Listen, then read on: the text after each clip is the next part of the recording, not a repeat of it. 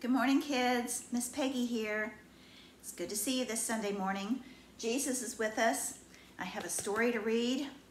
I hope you've had a great weekend so far. The story that I'm going to read to you today is about Hal. Hal is a friend of Rufus's. Hal is a hedgehog.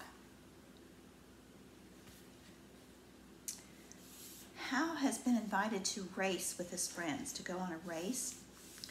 And Hal, being a hedgehog, has really short legs. He's very worried about whether or not he can participate. All of his other friends have nice long legs and can probably run pretty fast. But Hal? mm, hedgehogs are kind of slow moving. So let's read the story and see what happens. One morning, Hal came out of his hedgehog hole and stretched his arms as far as they could reach into the fresh air. What a beautiful day, he thought. I wonder what my friends are doing. So he went to look for them. There he is. Woke up first thing in the morning, didn't he?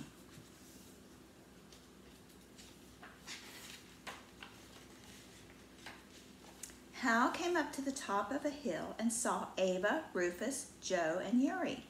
Good morning, Hal, Ava called. I was just telling the others about my idea for something fun to do. Oh, it's the best, most wonderful idea ever. Isn't it great to have ideas for fun things to participate in? They're excited about it, aren't they?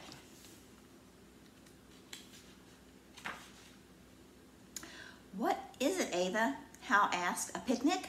Hide and seek? Skipping rocks into the stream? Even better, Ava said. We're going to have a race from here to the tree on the other side of the hill. Oh, she's so excited, isn't she?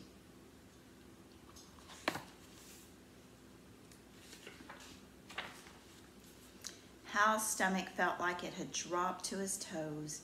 This was not good news. My legs are so short, Hal thought.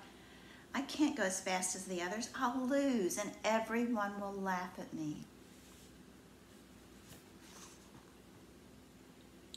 Look at his face. He's so worried.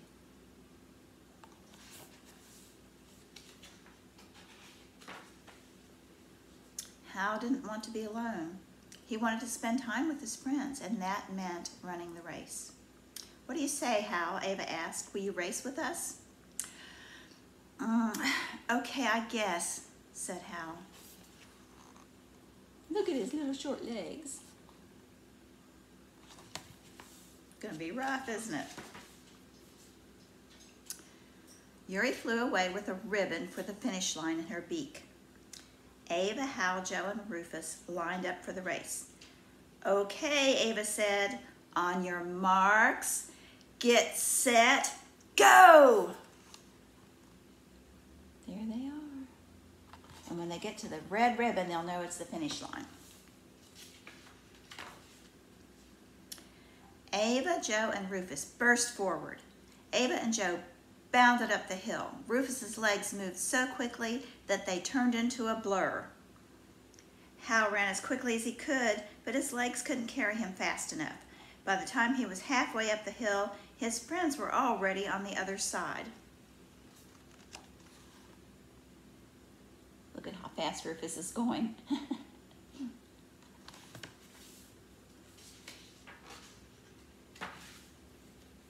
oh no, Hal thought. This is exactly what I was afraid would happen.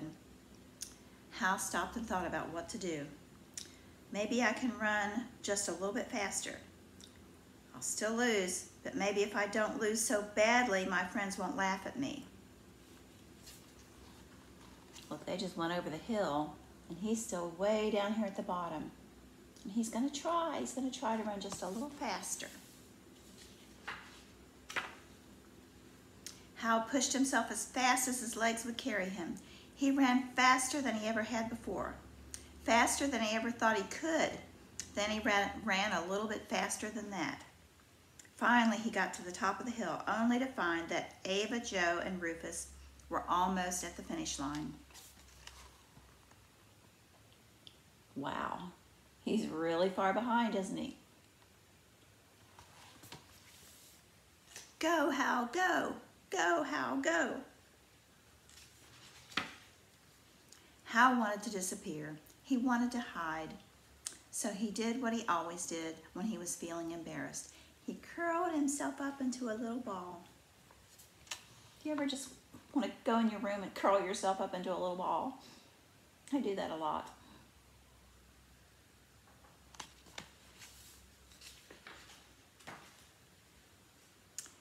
As he tucked himself up tight, he said a prayer to help him feel better. Dear God, I'm not good at doing some things. Please help me be proud of the things I am good at. Amen. While his eyes were still closed, Hal felt himself begin to roll down the hill. He rolled faster and faster. Oh my goodness.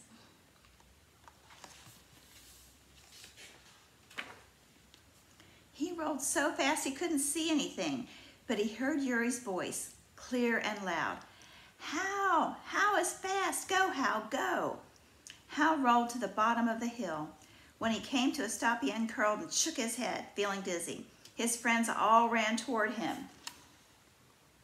Look Hal excited his friends are.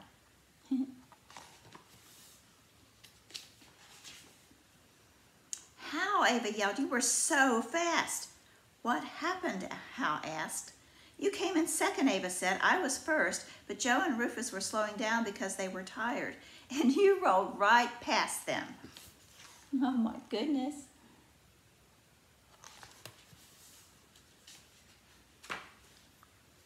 Hal could hardly believe it.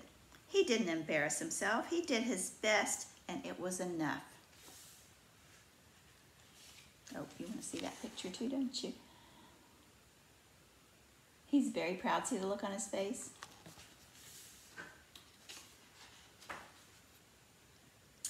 I didn't know you could do that. Hal, Ava said. Hal stood up straight and tall, as tall as his little legs would make him stand. I might not be, be very good at running, but I am great at rolling, he said.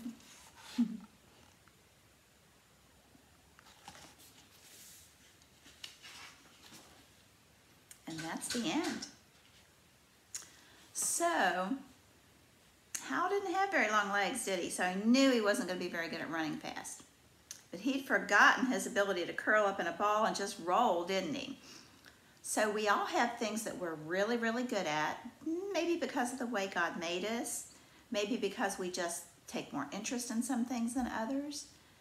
But he found a way to make what he had, the good things that he had about himself, to work in other, in other ways. He found a new way to make rolling up in a ball a good thing, right?